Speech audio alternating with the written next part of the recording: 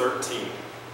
It's printed there in your bulletin insert, and I'm not going to read the whole thing. I'm going to just kind of give us some of the highlights, but I would ask you this week to take some time to read the entire chapter 13 of Genesis.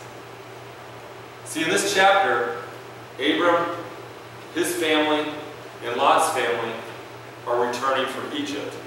And the writer of Genesis tells us that Abram's family was rich, that he had livestock, and that he had silver, and that he had gold. And we also learn that his nephew Lot must have been doing okay as well. And so they end up near Bethel. Now, if you were here last week, Bethel should ring a, a bell because that's where we left them last week before they went down to Egypt. And at Bethel, Abram calls on the name of the Lord. He's thanking God for providing for them, for him. He's probably also thanking God for saving him from disaster from his bad decisions in Egypt. But with their wealth, the flocks of Abram and Lot have gotten large, and they've gotten so large that the land cannot support all their herds. And on top of that, we're told that there's Canaanites and Perizzites in the land as well. It's, it's actually Perizzites. It's not parasites, even though they might have acted like parasites. But there's pressure on the grazing land. If you look at verse 7, it says, There was strife between the herdsmen of Abram's livestock and the herdsmen of Lot's, Lot's livestock. They were literally fighting over the turf, the land that they needed for grazing their animals. And with trouble brewing between Abram's and Lot's people, we come to the first step that we should take when facing family turf troubles. And that is to seek peace. Look at verse 8 there with me.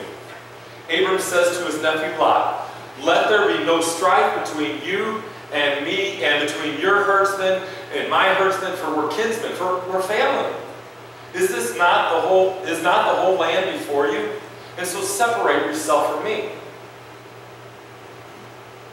Abram is using very basic but very godly wisdom here. When there's a problem in the family, the first thing we should do is to seek peace. In Paul's letter to the Romans in chapter 14, Paul said, Let us pursue what makes for peace. In Romans 12, Paul wrote, If possible, so far as it depends on you, live peaceably with all. Paul wrote to his protege Timothy in a letter, he says, So flee youthful passions and pursue righteousness, faith, love, and peace. I happen to know two very godly men who are extremely passionate in their faith. Both of these guys love Jesus and they're, they're driven to serve the Lord. And yet these two guys can get into some very heated discussions with each other. The, the turf that they frequently argue about is how their ideas on how to best move the church forward. And the fact of the matter is these two guys can bring out the worst in each other. But the good news is, is that they love and respect each other deeply.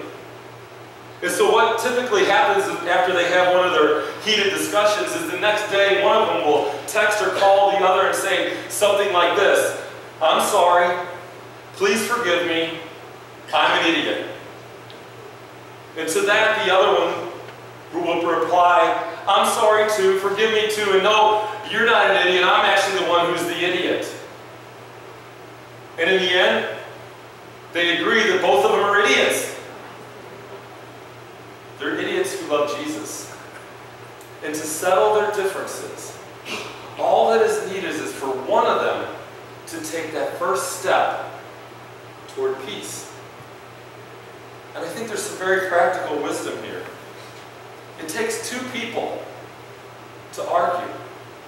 It takes one person to begin the road to peace. In the turf trouble over the grazing land, Abram took that first step toward peace.